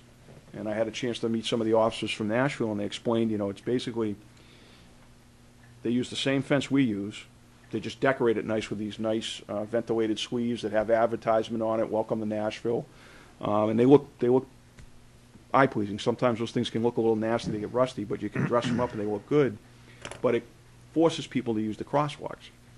Um, it puts them into the crosswalk. They got no other option now. It's both sides of the road. I don't think we could probably do that in a lot of areas, but I'm thinking from, you know, south of the casino, north up to A Street, if we covered that area on, on the west side of the road with a fence for possibly the season. Or deploy it on weekends, you know, I- I'm willing to, I know there might be some business folks with some concerns, but in the past, those people that ha- expressed those concerns and now seem to be in favor of it. Um, it keeps the business, it keeps the people there. Um, and it's just a lot safer for us, and there's fewer officers that have to manage the crowd in the street. And it helps the traffic, so. I'm exploring that, and I would take any feedback from anybody in the community or from the board on what their thoughts on that were, but that's my intention to move forward with that. Mr. Bridle. No, I think uh, you guys did a a very good job this summer. I think uh, as your first full, full season in charge, I think it's been, uh, Yeah, but I wasn't worried about it, Rusty, I was fine. uh, yeah, you were doing a good job. This summer, at, at some point, it appeared that there was some, like, community policing going on up in the Uptown District. We had some um, police officers up there and walking around. Is that something you're gonna look at further? Is that- Absolutely, everything, uh, you know, I I try to listen to the different, you know, as much as this is one town, you do have to recognize there are distinct concerns in different areas. And I've heard from the business folks uptown, uh, I know Mary Louise, we've spoken a number of times about, we used to have an officer up in the square during different times. So we tried doing that to the best of our ability with the staffing we had. Um, We didn't get any additional funds for it, but I just felt that it was with enough concern being expressed um, to try it. Um, we didn't lose anything from it. Uh, you know, just an officer that was on foot. He- You know, we stayed within a two-block area of where he, he parked the cruiser, so if he had a call, he could get to it. When I had the availability, I'd add an extra person just to cover that. Um, and it seemed that we, again, that was another one of those things that we got a lot of positive feedback on. So it, it- staffing and fi- and funding, I intend to do it. Well, thank you. I I know, um, I had a couple people that mentioned it and were appreciative of that, that point. Uh, So, other than that, excellent job, thank you. Thank you. Mrs. Woolsey. People uptown do tend to feel a little neglected, but given the stress that you have and the staffing that you have, you know, we understand, but sometimes we whine. Well, not, now that I'm not a beach guy and I live uptown with you, I, you know, I I probably understand it better. Mr. Bean. No questions, sir. Thank you for your report. Sounds like everything's really going well. We're pretty pleased. We hope we can keep, keep it going. What about with the seafood festival? How did that all Um. Seafood Festival was good. We, you know, obviously last year we had some concerns and, um, we expressed them and we had some very frank discussions. Um, and they took a lot of the suggestions, so we kind of saw a different attitude from some of the uh, folks that were causing our problems. The, uh, the over-serving of alcohol was a primary concern at the beer tents. So a much better management of that situation. Um, I had made a recommendation. You know, an event like that really counts on volunteers. Um, but it also helps if you get volunteers that it might be in the particular business you're trying to control. Um, and I had made some suggestions to reach out to some of the, the local uh, establishments that have good reputations with their staff and handling crowds and people that have been drinking. And uh, the suggestion was taken, and I, I felt there was a noticeable difference. Our arrests were down, the rowdy behavior was down, um, and I think people just had a much more enjoyable event. So, d- did you come up with any new thoughts for next year, or? We're going to continue, uh, we did take the initiative this year to bring in um, the 12th Civil Support Team from the uh, New Hampshire National Guard. Uh, As a precautionary measure, you see some of these larger events, we're bringing in support teams to try to prevent and also detect people that may try to do some harm at an event like that. And uh, we got a lot of questions about, uh, we got a number of calls at the uh, PD of the people saw these little boxes on the side of the road with the lights in them. And they were atmospheric uh, detectors that can rapidly detect somebody trying to bring something in that could be harmful. Uh, we had them set up in a location uh, in proximity to the event, monitoring the. Uh, I, yeah, I don't want to give too many uh, of the issues that we did, but they're monitoring to see if there's anything that triggers that. Um, they bring in uh, different packages of security. They can bring in more surveillance for us uh, with cameras and more interoperability with other agencies. God forbid that we had something tragic happen, either natural disaster or otherwise. Having them there on the ground with us, working with us, uh, was important. We also brought in some of the state assets with EOD, just to be around in the vicinity. So if the event uh, wasn't so much worried about a, a, somebody doing something, it was more, what do you do these days if somebody leaves a backpack and nobody knows who had it? When you look at what that can cause to an event as we try to clear that and make sure it's okay, it, it can be difficult. And we're generally going to have to wait for somebody to come down from Concord that has the expertise to deal with that. We had them on site to deal with those issues if they occurred. Um, fortunately, nothing like that happened, and I think the fact that people know that we take a lot of precautions to deal with these issues would deter anybody from coming to Hampton to try to cause any harm. I think uh, the number of officers we have manning the different areas um, is sufficient to provide for security. The traffic control is obviously an issue. But I just think the general way we handle ourselves at any of these events, we've gained a great reputation in the manner we conduct events. Um, I'd highlight when they were looking for a new place to run the Pumpkin Festival, editorial uh, ran that they should bring it to Hampton because the Hampton Police Department knows how to run an event. Um, paraphrasing, but um, so we took great pride in that. Uh, I think we do a good job with our planning. Uh, we just wrapped up our last major event of what I call the event season from Seafood Fest out to Columbus Day. We have a lot of those events. We had the uh, the half marathon and uh, went pretty smoothly. I know there was some people inconvenienced, and I don't mean to minimize their concerns, but from a public safety standpoint, those things have gone pretty well in this town. We I think we do a pretty good job as a team, coordinating with fire, um, public works, and making these things work for the town. Well done. Thank Thank you you. for coming in this evening. Appreciate you having us. We appreciate it. Thank you. Night. Night. Moving on to old business. Number one, board determination on recreation and public works budgets. I'm going to ask Christy to come up here because she has more data and information Thank you than very probably. IBM ever thought of putting in a, in a computer. The question we had for the board was, uh, you reviewed um, some time ago the, um, the budgets for the Recreation Department, and the Public Works Departments. And are you ready uh, to take an action to approve, modify, disapprove, uh, whatever it is you're going to do with those particular budgets so that we can start setting up the budget books? And the same for all the rest of the budgets that you've gone through if you're, you're ready to take an action with regards to those budgets.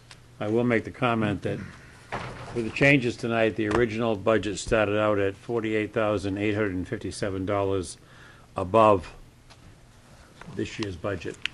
As of tonight, we are eighteen thousand three hundred and fifty-seven dollars above this year's budget. So it's a, it's a virtual zero. Thirty thousand, yeah. The thirty thousand five hundred was removed. Yeah. so. So where would you like to start, Mr. Ch- If you would So- like to start, that is. And. I have summary sheets if that's helpful. Okay, I think that would be helpful. I had a handwrite on it though, because of some of the changes that just Yeah, took place. that's all right. But, um, just kind of gives you a summary, it breaks it down, um, in each section how the budget is made. Thank you. Thank you, Christy. It's a little printing and, and Yeah. a sharp pencil. Thank you. What's wonderful, Christy, is when you put the dates on these, that really helps. Yeah. Mr. Chairman, are you prepared to accept a motion to address the recreation and public works budget? Or do you want them Yes. done separately? No, I think we should do them individually.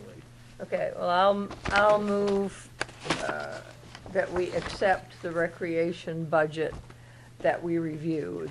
Second. I, I, I would modify that motion. We need dollars and cents from finance for the exact You numbers. want the exact It's page two of the report she Yeah, just it's, gave uh, you. it's one million, one hundred and thirty-seven thousand and eleven dollars. That will cover section, uh, G, which is culture and recreation. Right. Has library, recreation, parks, patriotic purposes, town beautification, and conservation commission broken down. Of that segment. Yep. then I, if I may adjust my motion, I'll be prepared to move that we accept the one million, one thirty-seven, oh, one, one to cover those five purposes. I'll second that. And is there any discussion, questions? All those in favor? Unanimous. Number two, we have the board determination on budgets for other departments. No, you got We public need works public yet, works. Mr. Chairman. Yeah, so we're gonna go right to Public Works. Yeah, pursuant to the printout that we just received dated 10/5/2015, I would move that we accept the figure that we uh, approved at our work session for the Department of Public Works, total five million two one eight one three four. I'll second. Any questions? Is questions? that the correct number, of finance? It's right here on the I was second just page. asking the question. Yep. That's the correct number, finance? Yes. Thank you. All those in favor? Unanimous. And then, We have the miscellaneous budget, starting with uh, the top of the front page Whoops. for executive. And going down through uh, town clerk, financial, zoning, planning, general government. The total by individual sections and then the total by the general government budget. So how do you want this? I, I will move under general government, um, total executive, two ninety-two thousand, two thirty-three. Town clerk, two five two, eight eight four, whoops. Nope, that's Two three five two, three eight four. Mm-hmm. Um, financial admin, one million, zero, six, six, eight, one, eight. Yep. Legal, one nine eight eight seven five. Personnel, three million, zero, one one two four five. Planning Board 140160, Zoning Board 50310, Total Planning and Zoning 145470, Town Buildings 102674, Cemeteries 123725, Muni Insurance 3506292, and parking admin, seventy-five five five zero. For a total general government of eight million seven seven five two six five. seven, six, oh, yep. No, it's off to the right. Okay, yeah. Yeah. Is there a second? I'll second it. Is there any questions? Good to go. That's a- the correct number. So that's eight million, seven hundred and seventy-five thousand, two hundred and sixty-five. Yes. Yeah. All those in favor? Unanimous. And then we have the fire budget. We'll do that separately. Uh, you, will you accept a motion to approve the fire department budget that has just been reviewed? That's four million, zero, three, zero, seven, six, four. Oh, I'm sorry, That's police the police department, I department. apologize, police. But that one And that's a- changed. Yes, Yeah, four million zero three zero seven six four. that's the correct number, yep. That's for the police department. That's the Correct. police department, I'll yes. second that. Okay. Any further questions? All those in favor, unanimous. I'll move that we accept the fire department figure after our review this evening, uh, with a total of three million four four zero three nine five. Second. All those in favor, unanimous. Um, em- Christie, what about building and code enforcement? Building and code, uh, Kevin was here last Wednesday, Right, and so that's the amount, the two, comfortable, that's the one that he brought forward to you guys. I don't believe anyone made any adjustments, No. so it's No. two eighteen zero one nine. okay. And if I may move to accept the building and code enforcement figure after our review, two one eight zero one nine. I'll Second. second that. All those in favor, unanimous. Right. Um, As of tonight, uh, Chief Sawyer mentioned the emergency management, and there seemed to be no problem. That's one thousand dollars, so I will so move that we accept that. Second. All those in favor, unanimous. And as a final uh, item, the uh, figure for the hydrants, uh, the annual cost for 2016 approved at 494,299. Second. And that's unani- unanimous. Now, um, did we do the animal control and the mosquito? Yeah, we Uh, did. You didn't do a motion yet. No, I No don't motion believe yet. we did. You reviewed them, but you We haven't. did, um, No, we didn't. I'll make Wait a a minute, let me motion. look. The animal well, control we did is. mosquito control when, what's, when Ann was in the other night. Yeah, but we didn't, you did not vote on either one. Yeah. I mean, you Right. voted on her, Right. um, And we bid, did I think. review Have it. Bid. but not- We did Correct. review animal control with Chief Sawyer. yes. Yeah, but we haven't haven't done voted so. on Made Right. the motion. I'll make a motion. Woolsey. Yeah. I'll make a motion that, uh, we pass animal control at five nine nine three four. Second. All those in favor, and now the mosquito control. I'll make the motion for one oh three two five zero. Second. All those in favor, unanimous. Wow. Did you do the welfare too? No? We did not, you have not voted No. on welfare yet. Okay, I'll make a motion that we pass God bless you. welfare five one zero one seven. Second. All those in favor, unanimous. And then the last one would be the municipal debt. We talked about that Ah, on the debt Wednesday service. also. Also move the municipal debt service, to two million nine nine six two nine eight. All Second. those in favor, unanimous. So that handles it. That's it. That handles all of the budget, yes. Thank you. We appreciate everything you've done for us. Um, Made it very easy and. And we could read it. To the last minute we had to wonderful. change things. Thank you. Yep. Other old business, Mr. Bridle, Nothing, thank you. Mrs. Woolsey, No, Mr. Bean. No, sir. And you have we'll Christie's. wait until Mr. uh, Yeah. We have Christie's memo on the audit Can we services. start the, the Yeah. brief on the audit? It seems pretty straightforward. Yeah. Would you like me to give a quick Give us briefing? your opinion and your quick. My your quick opinion, brief. um, I expressed in the memo that I had sent. Um, we sent out an RFP. We heard, got, res- we sent it out personally to, um, eight different, um, vendors. We heard back from three. I gave a breakdown. We heard back from Plodzik and Sanderson, Vachon, Clukay and Company, and Melanson Heath and Company. Um, Plodzik and Sanderson was the second low bidder. There was a difference of two thousand two hundred and twenty dollars. So I am coming to the board asking for a waiver to go with the second low bidder. Um, there is savings still. It was thirty-one thousand five hundred, whereas last year it was in the budget at thirty-three thousand five hundred. So there's a two thousand dollar savings budget-wise. Um, Mhm. but that is, uh, the breakdown there. and probably a larger saving time-wise. Uh, I'm happy to move to uh, accept Uh, the, Why don't we wait until Mr. Waddell comes oh. back?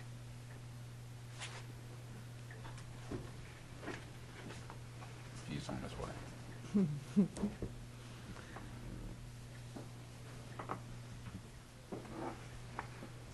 We're waiting for you. Mrs. Woolsey's going to make a motion. Oh, I'm happy to accept the uh, finance director's recommendation on the tw- 2015-021 audit services to grant the purchasing policy waiver uh, as in section 718-4, periods A, subsection 1 through 4. In the amount of? We're waiving it. Uh, wait a minute, I've got to get the 31.5. figure in here. Bear with me. It's thirty-one thousand five hundred, Yes. uh, for the first year with an additional three hundred over the course of the, it's a three-year Three-year bid. RFP, so, um, Yep. but it's thirty-one thousand five hundred each year, and then hundred and fifty more the next year. Uh, let's see, I should have put the grand total on there. Hold on one sec.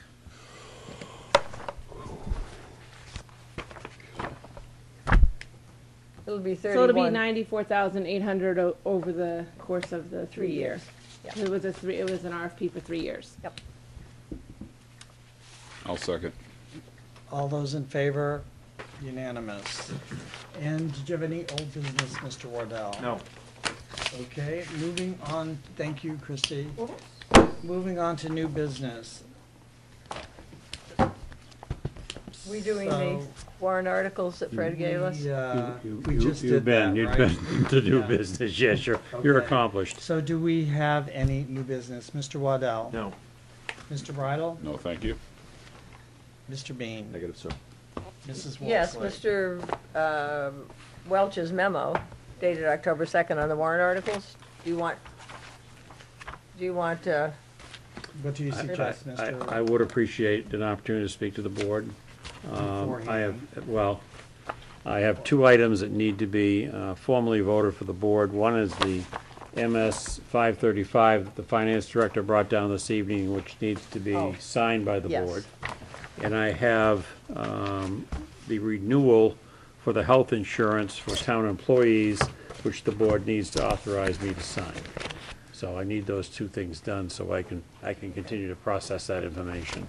So I'll move that we sign the M- MS 35? MS 535. 535 They keep on changing it, the number's gonna get so long they can't print it. for the finance officer. I'll second that. Okay. Any further discussion? To authorize the manager to sign, oh, no, we have to sign. You have to right? sign the 535. Okay. I'm in favor. All those in favor? Unanimous. And what was the other? The other, Mr. Chairman, was I sent the board a a notification, a memorandum, uh, on the second, citing a number of different warrant articles that traditionally appear in our warrant every single year. Uh, asking whether or not the board would in fact approve those, so I can forward them on to the Budget Committee. Um, Conservation Command, uh, Conservation Land Acquisition Fund for twenty thousand dollars. That's a ten, ten thousand dollar increase over the past two years. um, Because of the, the need to continue to build that account. The Human Service Agencies at one seven six four seven five, and that's assuming the two missing are uh, at the two thousand fifteen level. The Highway Block Grant for paving, which is, um, six four three two two five. It's an increase of three seventy-five five seven six, and the state has increased it from one hundred and sixty-seven thousand to almost three hundred thousand dollars in, in, um, one sixty-seven six forty-nine to two ninety-nine eight oh four. And I understand that's gonna continue to increase for several more years. Don't say that too loud. The light dawned on Marblehead that there was a, uh, leg- a piece of legislation that passed that set a four and a half cent increase in the gasoline tax, and we gotta receive thirty percent of that for each year that is billed before it sunsets.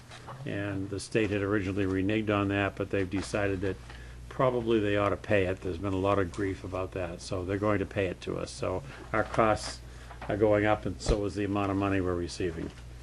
Um, The other one would be the P- Police Forfeiture Special Revenue Fund, which has no impact, tax impact at all. We do that every year. It's ninety thousand dollars. The Recreation Special Revenue Fund, again, no tax impact. That's hundred and fifty, hundred and fifteen thousand dollars in the warrant article. The Road Improvement Capital Reserve Fund, which is three hundred thousand dollars, no increase over prior years, and it's been three hundred thousand now for several years. and the uh, amend the disposal of surplus town equipment and materials ordinance that would allow, with the selectman's permission, us to market uh, Yep. surplus steel and scrap metals um, instead of just auctioning them off. We can get more money by selling them to a, an authorized junk dealer or a salvage dealer. So those were the, the articles that uh, I was requesting the board to consider and perhaps approve if you could, and we would then forward those on to the budget committee. So do we need a motion, You would need a motion to approve, sir. all of them at the same time? or- Uh, That's up to you. I am happy to make a motion to approve uh, the one, two, four, five, six, and seven. I want to pull the highway block grant out for the moment. Okay, Yeah. well, let's discuss it first. Well, all right. I don't want to see the highway block grant put in there without stipulating specific streets and roads that are going to be done. It was part of our success, I think, with the block grant this year. Fairfield, Ruth, and Belmont. I'm sure that the DPW has its list of critical roads and streets that need to be worked on. And I think the smartest way to present this to the public is to show them specifics on what is going to, what commitment is made to what roads and streets. I think alternatively that, uh, if I may, Mr. Chairman, that uh, given, uh, say, a hurricane that maybe didn't touch down, uh, it handcuffs Public Works, it's an unnecessary restriction, and I think uh, Mr. Welch and the Public Works Director can effectively administrate those funds on their own without selectmen's guidance. Mr. Welch, what do you say? Mr. Chairman, it's certainly a board decision. Um, The funds are allocated for paving, for streets, sidewalks, um, very miscellaneous things dealing with individual street pavings. Um, The, the, the department is going to set a, a list of streets in the spring after the snow is gone, because we're going to have some that are gonna fall apart so badly between now and then, particularly over the winter, that to give you a list now, we may have to change it. I don't want to give you a list that would be changed. Um, For instance, I know that it's not even on the horizon for the department to look at the end of Landing Road, but something has to be done down there. Mary Batchelor Road is about six years down the, uh, the list. Uh, I looked at it the other day, and I'm not sure it's going to last till next spring. Right. So there's going to be some changes as we go along, and, and I would ask the board, and we certainly report to you before we do the work, uh, what needs to be done, and because of the changes over this coming winter. And what do you have to say about that, Mr. Bridle? Uh, I think, uh, with, with the past year and what the, uh, uh, the response has been from Public Works, uh, they, they are working at it really hard. Uh, I think to handcuff them at this point in time, um, I think would be wrong. We need to, uh, wait until spring, as, the town manager said, uh, a lot can happen over, over four or five months. And, and, uh, certain roads can, can, uh, can definitely, uh, fail much quicker. So, uh, I have no problem with it, the way it was presented. And I agree Mr. with Selectman Waddell? Bean and Selectman Bridle. Okay, does someone else want to make a separate, a different me- uh, motion? I make a motion that we Except highway block grant as. accept the, the highway block grant as written. And the other warrant articles, pass them on, Yes. that, all of the ones we've discussed tonight. Is there a second? I'll second. All those No, no, in what- favor? Second to what, Mr. Waddell's motion? Yes. I just want to understand, okay. Yeah. All those in favor? Unanimous? Oh, I'm opposed. And one, four and one. Yep. Other new business, Mr. Waddell, No. Mr. Bridle, All set, thank you. Mrs. Woolsey, No, thank you. Mr. Bean. Negative, sir. I will have for your next meeting, Mr. Chairman, um, some detailed information on the outstanding warrant items that were su- su- submitted to uh, the town by the individual departments. Uh, We've been working on them feverishly, and I will tell you that we're um, discarding a number of them. We're combining some of them. Yeah, good. Uh, And hopefully, uh, you will see a substantial change in both the articles to be presented and the amount of money that it's gonna cost to, to appropriate for them. That was a good recap, though, because it was good thinking to, to see an overview of the possibilities. That was the idea, and, and we're looking at uh, all other possibilities as far as funding is concerned, outside sources, surplus, everything. So, we will have a- an overview for you before your next meeting. Good. Oops. Closing comments. Done. At- Mr. Bridle? At, uh, at, our- after our adjournment, I'd make a motion that we go into a non-public under ninety-one A RS, uh, RSA ninety-one A semicolon, Uh uh. I thought you could or, roll that. uh, down. yeah. Uh, personnel matters. Is there a second? Second. Roll call. Aye. Aye. Aye. And uh, is there a motion for adjournment? I'll make a motion to adjourn. At what hour? Twenty forty-five? Second? Oh, I think this goes with those. Okay, thank you. Aye. I guess the rest of the clock good, All those in hasn't, favor unanimous. hasn't moved a second, it's right on time. Thank you, gentlemen.